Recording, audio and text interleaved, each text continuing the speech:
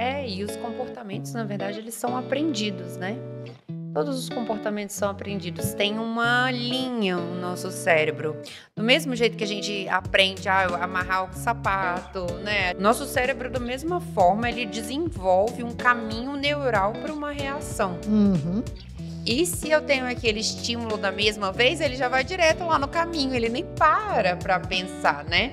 Ele já vai por é, realmente por impulsividade, por aquela natureza animal que a gente tem, ele lembra aquela memória, aquela reação e volta a ter de novo aquela reação.